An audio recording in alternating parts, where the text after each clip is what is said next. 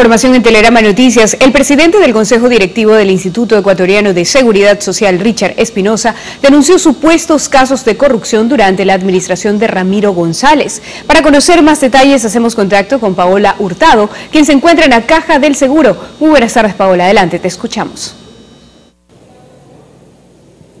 Shirley, amigos televidentes, ¿cómo están? Así es, el presidente del Consejo Directivo del IES, Richard Espinosa, realizó la tercera rueda de prensa donde denuncia casos de corrupción, esta vez 18 para ser exactos, y seis de ellos corresponden al periodo de gestión de Ramiro González, quien estuvo al frente de la institución durante cinco años. Detalló así la compra injustificada de equipos, medicina caducada por compra excesiva y pacientes del IES que eran derivados a una clínica privada relacionada relacionada con el funcionario. En el año 2007 los activos de esta clínica González, primo de Ramiro González, eran de apenas 182 mil dólares y ya para el 2013 ascendieron a 4 millones 671 mil dólares. Antes era una clínica y ahora es un hospital.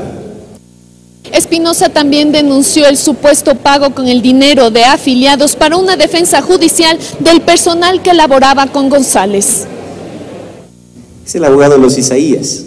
Miren ustedes quién ha sido el que ha tenido relación con los Isaías.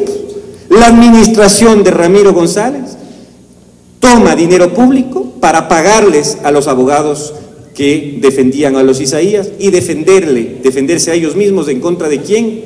Del mismo Estado. El presidente del Consejo Directivo del IES recalcó que las investigaciones ya se están ejecutando y varias de ellas están en manos de la Contraloría. Con esa información regresamos con ustedes. Buenas tardes. Buenas tardes, Paula.